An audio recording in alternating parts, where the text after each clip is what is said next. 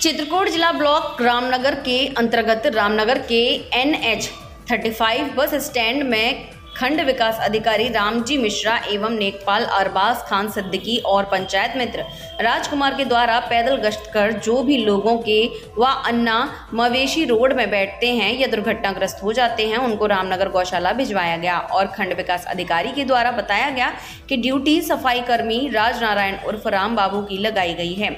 ना तो उसका फ़ोन लग रहा है और ना ही वह चेकिंग के दौरान ड्यूटी करते मिला, जिससे अधिकारी व खंड विकास अधिकारी एवं लेखपाल व आला अधिकारियों को करना पड़ता।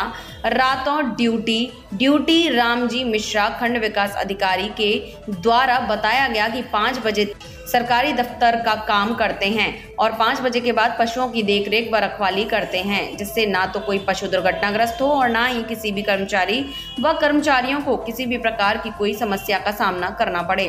समाज सेवी गोविंद प्रसाद तिवारी, दयालु गौतम व राकेश राज किशोर तिवारी एवं जय दुर्गा माँ मेडिकल स्टोर से महाकाल मिश्रा व आदि लोग गश्त में उपस्थित रहे, जिसमें गौरक्षक संस्था से भूपेंद्र कुमार श्रीवास्तव, सुधीर कुमार श्रीवास्तव उपस्थित, जिसमें सहयोगी के रूप में रामनगर ने, रामनगर से शत्रुघ्न, निषाद, आशीष यादव, अखिलेश श्रीवास्तव व बाबा गेंदेलाल गश्त में साथ रहे, जिससे पशुओं को सफलतापूर्वक गौशाला पहुँचाया गया। रामनगर ब्लॉक से धर्मराज वर्मा की रिपोर्ट। ग्राम विकास अधिकारी है। जी हाँ ग्राम विकास अधिकारी केयरलेस है। हम्म। उसको फ़ोन लगाइए तो कुछ आप बताएँ नीचे फिर सफ़ाई कर्मी है। सफ़ाई कर्मी का स्विच आप बता रहा है। जिसकी ड्यूटी मैंने पॉइंट पॉइंट वार पॉइंट वार ड्यूटी लगाया है। तो अब जब स्विच ऑफ़ है प्रधान का स्विच ऑफ़ है यही तो खंड विकास अधिकारी के मतलब कि जी हाँ है।